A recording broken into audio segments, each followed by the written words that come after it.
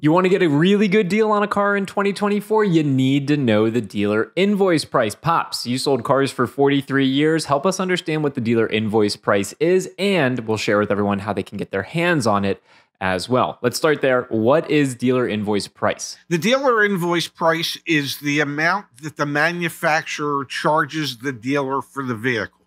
So when the dealer gets invoiced for the vehicle, their um, floor plan company, their bank, will then forward that amount of money that is on the invoice. It says dealer cost. They will forward that amount of money to the manufacturer to pay for the vehicle, and and then they start paying interest on that amount of money.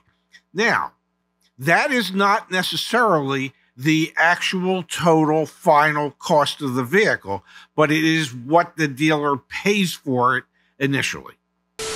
Don't forget, ladies and gentlemen, 29% off of Insights 2.0 that include the invoice pricing for you, $290 off of our extended warranties to help celebrate Zach's 29th birthday, and believe it or not, somebody's going to win a free concierge service at $999 value. All you have to do is go to www.caredge.com slash Zach turns 29. All right, you got to peel back the onion a little bit further. What is the total actual cost? Break it down even more, Dad. Every manufacturer has something called holdback.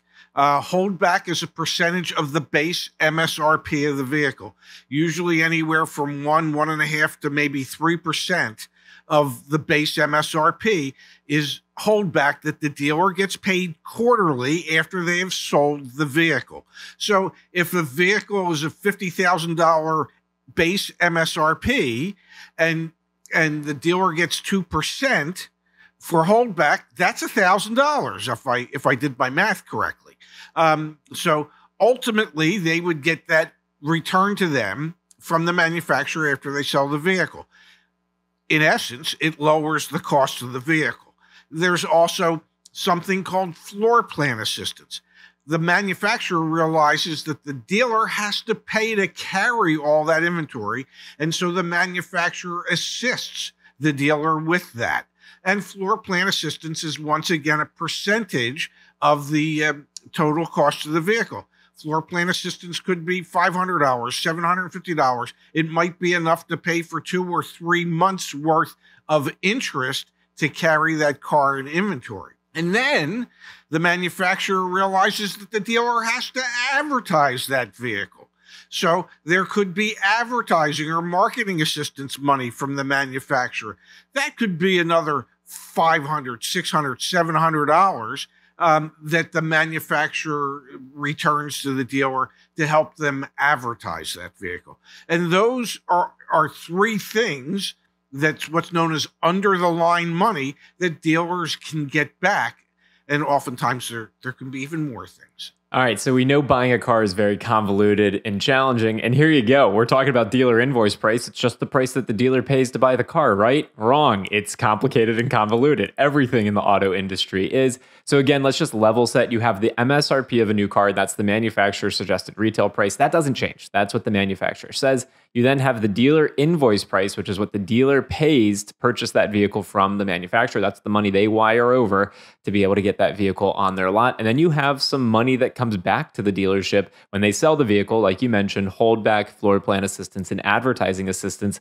So, really, the total cost to the dealer would be the dealer invoice price minus the holdback floor plan assistance and advertising assistance. That's their real bottom line. Or you might even hear in the industry triple net that is like when everything's removed, that is the bottom, bottom, bottom line price that the dealer is paying for the vehicle, correct? Correct. And then your manufacturer might have some type of sales goals for you to hit.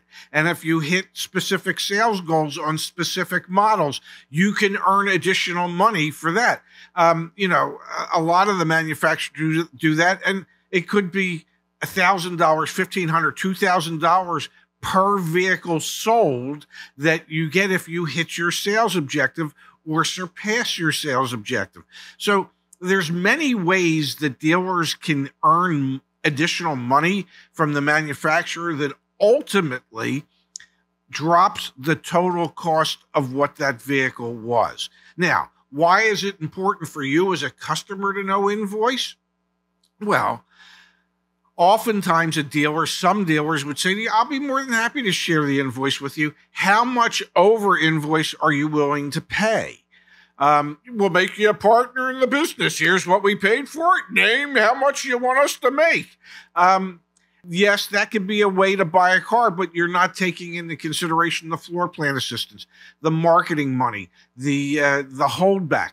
So if you want to special order a car, and oftentimes dealers will say, okay, special order, that's MSRP. Does not have to be. Even if you bought it at invoice, they're still making the holdback, the floor plan assistance and the marketing assistance, and they didn't have to spend any of that money. That could represent $1,500, $2,000 in profit if they sold you the vehicle at their invoice cost.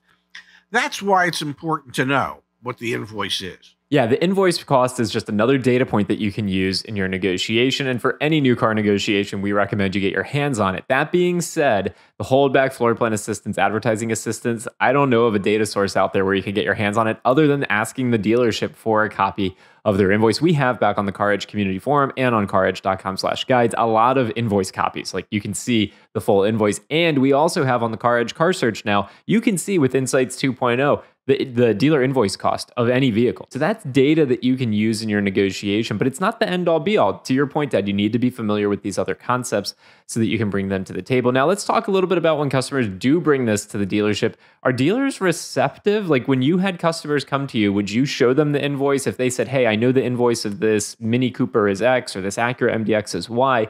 Would you say, Okay, I'll sell it to you at invoice? Or I guess my question is like, how can I use invoice cost to negotiate and how receptive will the dealer be? Um, there were times where we would be more than happy to share the invoice with the customer. And and if an if a customer wanted to see an invoice, even on our hottest selling vehicle, I didn't have a problem showing them. And I would tell them up front, I'll be more than happy to show you the invoice. I I will not and cannot sell you the vehicle at invoice, but I'll share that information with you. Um, I, I have nothing to hide. Now, yes, I oftentimes looked at the customer and said, here's the invoice, here's what we paid for it. You're a partner in the business. What do you think would be a fair return on your investment? Okay. And don't say that the fair return should be $500 under invoice because as an investor, you're going to want to make more than that. So, what would be fair? As long as you put a number that's a positive number above that invoice amount, you will go home in your new car. If you want to insist on the number being a negative number, we still have more to talk about. Take the invoice uh, data point into the negotiation, whether you do it via email, phone, or even walking into the dealership. Go print out the uh, CarEdge car search result for your vehicle so you have the invoice price right there. Dad, we also have a guide back on caredge.com that talks about invoice price. So if you're interested in learning more about invoice, you can read more about it there. Thank you as always. Pop, may, yeah, go for may it. I say one more thing? Just because you might know the invoice on the vehicle, what really determines its value is market conditions. What is the market willing to pay for that vehicle? If the vehicle is in short supply and there is an excess number of people that want to buy it, the invoice amount is worthless to you because the dealer is not going to sell it to you anywhere near invoice. The dealer is going to sell it for what the market is willing to pay. It's valuable information to know, but don't all, don't get so hung up on it that uh, it precludes you from making a deal.